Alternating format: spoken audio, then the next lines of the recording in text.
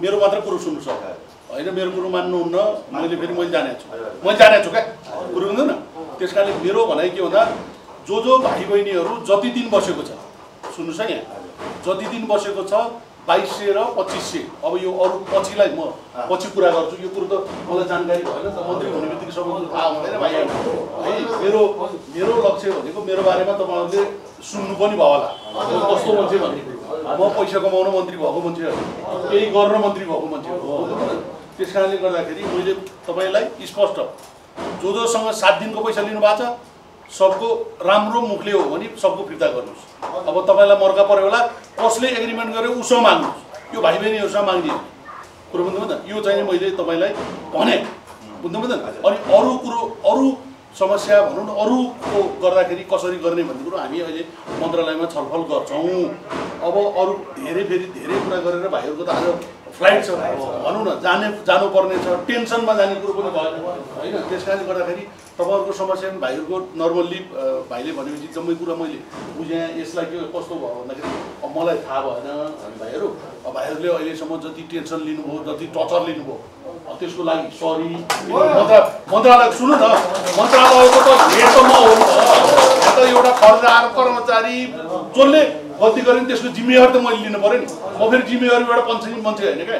म चाहिँ नि जे बोल्ने हो त्यो गर्ने मान्छे हो। बुझ्नु नि कारणले गर्दाखेरि त्यस कारणले गर्दाखेरि तपाईँलाई स्पष्ट कुरो भाइहरू कोही चार दिन बसेको छ कोही पाँच दिन बसेको छ कोही सात दिन बसेको छ। त्यो हिसाबले को कसको लिनु भएको छ? बुझ्नु बुझ्दैन को कसको लिनु भएको छ? फिर्ता गर्नुहोस्। उहाँहरू उड्ने बेलामा। म है म एयरपोर्ट आउँछु। त्यहाँ एकजना भाइहरूले कम्प्लेन गर्यो भने तपाईँलाई सिधै थुन्छु है म क्लियर हुनुहोस् होइन? क्लियर हुनुहोस् मैले तपाईँलाई अनुरोध मैले के भने तपाईँलाई के भने भने तपाईँको होटलमा भाइ बहिनीहरू जति दिन बसेको छ त्यति लिनुहोस्। त्योभन्दा बढी कसैसँग एग्रिमेन्ट भएको छ भने त्यसलाई ल्याउनुहोस् त्यसलाई म थुन्छु तपाईँसँग नचाहिने कुरो आश्वासन दिएको छ। अब अहिले म मन्त्रालय जाने बित्तिकै चाहिँ यो यो कमी कमजोरी गर्छु। अब अहिलेसम्म जति दुःख पाउनुभयो त्यसको तर्फबाट मैले अघि नै पनि भनिसकेँ। म एउटा नेतृत्वको हिसाबले मन्त्रीको हिसाबले मैले तपाईँहरूसँग चाहिँ सरी भन्न चाहन्छु भाइहरू। र तपाईँहरू एकदमै कति पनि अब अहिलेसम्म हिजो बेलुकासम्म आज बिहानसम्म जति टेन्सनमा हुनु हुनुभयो तपाईँहरू ढुक्क हुनुहोस्। तपाईँहरूलाई बिदाई गर्न म एयरपोर्टमा पनि आउँछु भाइहरू है। र राम्रोसँग काम गर्नुहोस्। नेपालको नेपालीको इज्जत राखेर काम गर्नुहोस्।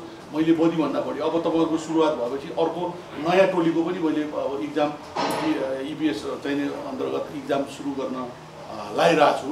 तर अब केही चाहिँ नि अ, यहीँ यही यही चाहिँ नि सङ्घर्ष समितिको नाममा हामी जम्मै नौडेसम्म चाहिँ नि जा जाँच लिन पाइन्न भन्ने त के हो त भन्दा जाँचको प्रक्रिया पनि तपाईँहरू त सबै जाँचको प्रक्रिया सिद्ध्याएर आउनु भएको छ। चार पाँच महिना त जाँचको प्रक्रिया गर्न लाग्छ नि। चार पाँच महिनाभित्रमा यो जुन सात हजार र तिन हजार नयाँ र चाहिने उताबाट अ, पुरानो अ, लाई पनि पठाउँदै गर्ने र नयाँ प्रक्रिया पनि गर्दै गर्ने हिसाबले लागेको छु। तर मेरो जोड मेरो पार्टीको जोड यो सरकारको जोड नेपालमै रोजगारीको अवस्था सिर्जना तपाईँहरू पनि रहरले जान खोजेको त होइन नि। तपाईँहरूको पनि बाध्यता हो किनभने नेपालमा रोजगारी छैन। त्यस कारणले गर्दाखेरि सकेसम्म नेपालमा नै रोजगारीको अवस्था सिर्जना होस् भनेर म लागेको छु।